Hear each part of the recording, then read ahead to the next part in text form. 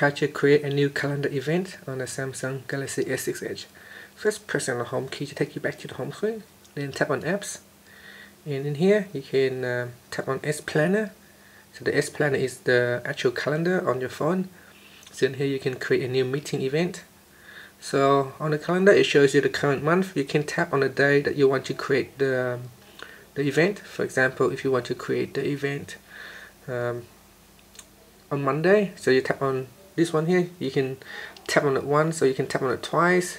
And if you tap on it twice it will create the event automatically for you.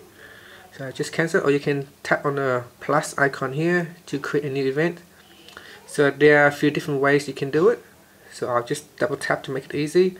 So I tap on that day and then it shows the day here. You can give the event a title. So I'll just say meeting and then you can choose a start date and end date. So if you tap on it you can choose when the event will start. For example if you want to start the meeting at 12 o'clock then we tap on done. Then we choose when it ends. So by default it is a one hour event. So we can choose let's say if this meeting go on for two hours you can also tap on the keypad if you wanted to. So you can tap on 1400 and then tap on done so now that we have to set the start and end date, you can also choose which calendar to save this one to. Then you can also set a reminder. By default, I have a one hour notifications. So if you want to add in more notification reminder, you can tap on the plus icon here and you can choose when the notification will raised. So I can choose one day before and you can see added two notifications one day before and then one hour before. Now you can choose the location if you wanted to or you can leave it blank. So I can put in the city or I can put in this.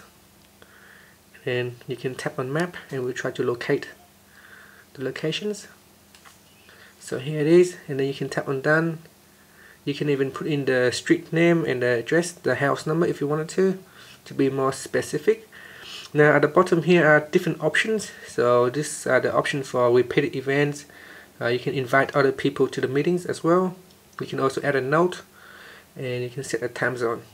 Once you're happy with um, all the settings and the details, you can tap on save at the top here and it will save the event to the calendar and now as you can see a new event has been created. So if you tap on that, it shows the event title, when the event start and when it will end and the locations. And that's it. Press on the home key to finish. Thank you for watching this video